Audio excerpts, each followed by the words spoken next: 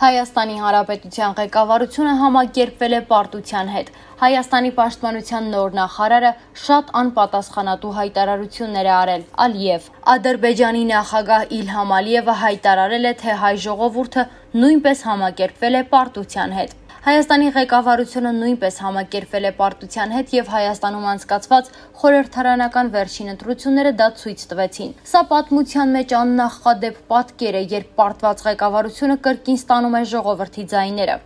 Այս դեպքում իհարկե Հայաստանը զինելը որևէ տրամաբանության մեջ չի տեղավորվում։ Մենք սա դեռ չենք տեսնում, չենք դիտում, բայց կային որոշ հայտարարություններ ռուսական կողմից։ Օրեր առաջ ՌԴ պաշտպանության նախարարը Հայաստանի Հանրապետության պաշտպանության նախարարի հետ հանդիպման ժամանակ ասաց, որ սկսվել է ռուսական զենքի Հայաստան առաքման գործընթացը։ Սա շատ անհանգստացնող է։ Նշելով, թե Հայաստանի պաշտպանության նոր նախարարը շատ անպատասխանատու հայտարարություններ է արել, Իլհամ Ալիևն ասել է. Կարծես թե Ղարաբաղյան երկրորդ պատերազմը դեռ դաս չի դարձել բոլորի համար։ Եթե այո, ապա մենք պատրաստ ենք նոր դաս տալու։ Հետևաբար մենք հույս ունենք, որ Ռուսաստանը չի զինի Հայաստանին, քանի որ դրա կարիքը չկա, ասել է նա։ Երկրի ղեկավարը նաև նշել է, որ Ադրբեջանին Հայաստանի հետ նոր պատերազմ պետք չի։ Միաժամանակ ըստ նրա Ադրբեջանը տեսնում է, թե ինչպես է Հայաստանը զինվորներ տեղափոխում Արցախ, այն տարածքում, որտեղ ժամանակավորապես տեղակայված են ռուս խաղաղապահներ։ Մենք մի քանի անգամ բարձրացրել ենք այս հարցը, բայց ապարդյուն։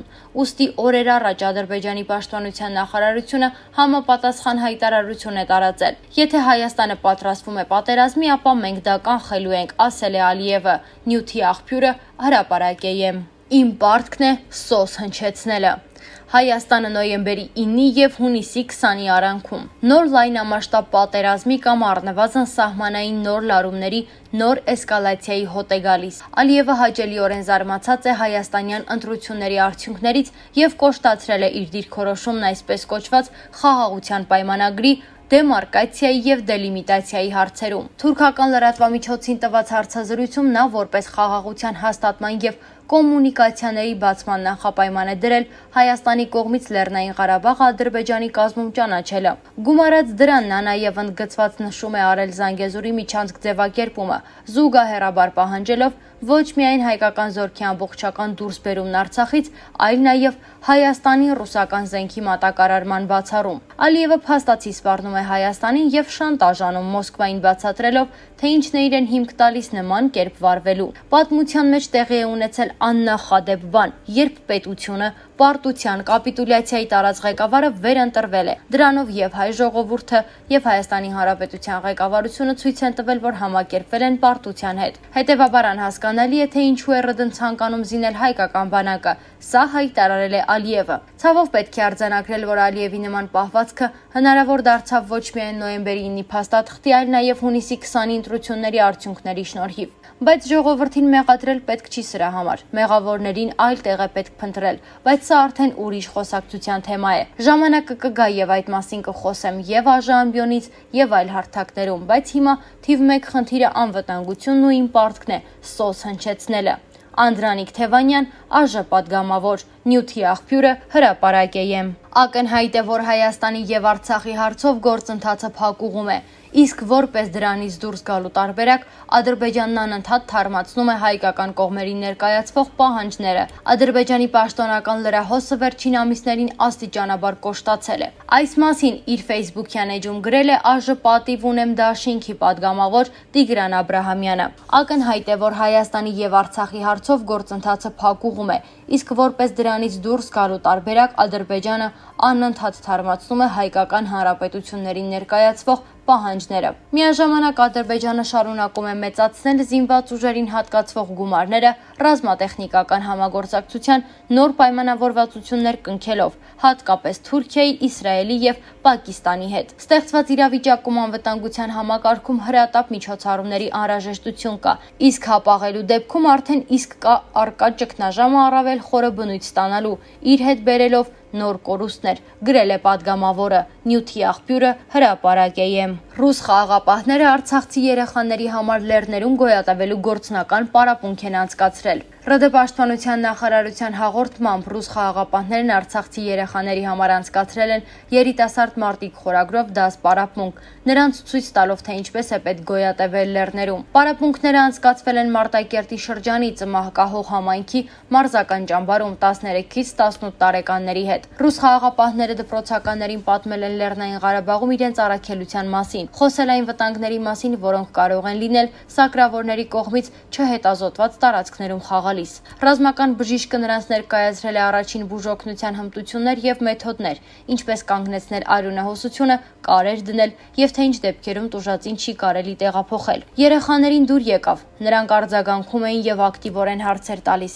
Հարցերը հիմնականում վերաբերվում էին առաջին բուժօգնությանը, պատմել է ռուսական խաղաղապահ կոնտինենգի ներկայացուցիչ Ելենա Մուրատովան։ Դասընթացն ավարտվել է երեխաների շրջանում անցկացված տարատեսակ մրցումներով, ուղված խոչընդոտները հաղթահարելու ստեղծելուն եւ պարաններով ժայռից իջնելուն։ Հիշեցնենք, որ նոյեմբերի 9-ին Ռուսաստանի, Հայաստանի եւ Ադրբեջանի ղեկավարները Լեռնային Ղարաբաղում ռուս խաղաղապահների տեղակայման շուրջ պայմանավորվածություն են ձեռք բերել։ Ստոյագրվել է հայտարարություն, որով Ադրբեջանին են անցնում Արցախի 7 շրջանները՝ Շուշին ու Հադրութը, բացառությամբ մի գյուղի, Գյուղեր Ասկերանի եւ Մարտունու շրջանից, ինչպես նաեւ Մարտակերտի շրջանի Թալիշ եւ Մատաղիս գյուղերը։ Նյութի աղբյուրը հրապարակ է եմ։ Հարգելի վիդեո դիտող, եթե հավանեցիք այս տեսանյութը, չմոռանաք լայքել եւ բաժանորդագրվել մեր ալիքին։ Ձեր կարծիքը շատ կարեւոր է մեզ համար։ Խորհրդարան մտած ռևանշիստորեն տրամադրվածներից, որ եթե մտադիր եք ազգային ժողովի բնականon աշխատանքները կաթվածահար անել, հորդորում եմ ոչ թե Քոչի եւ Սերժի դուդուկի տակ բարեք, որ նրանց հրահանգներով խորհրդարանը դարձնեք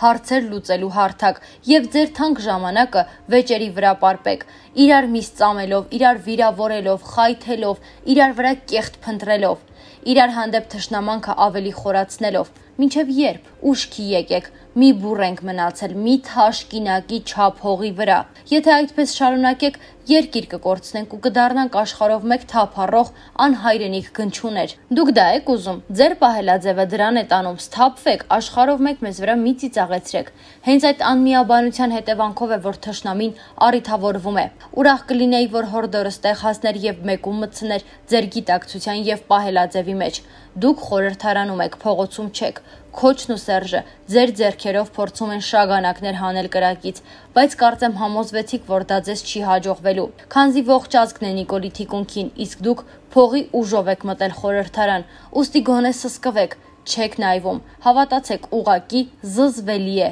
Գրառումը կատարել էր Սոնա Արշունեցին իր Facebook-յան էջում։ Լիբանանում գազատար տանկեր է պայթել։ Կա 20 զոհ, 100 տուժած։ Լիբանանում գազատար տանկերի պայթյունի հետևանքով առնվազն 20 մարդ է մահացել, վիրավորվել 79, տեղեկացնում է ՌԻԱ Նովոստին։ Պայթյունը տեղի է ունեցել Լիբանանի հյուսիս-արևմուտքում գտնվող Աքարի շրջանում։ Ալ Արաբիայի տվյալներով պայթյունի հետևանքով 100 մարդ տուժել է։ Այլ մանրամասներ դեռևս հայտնի չեն։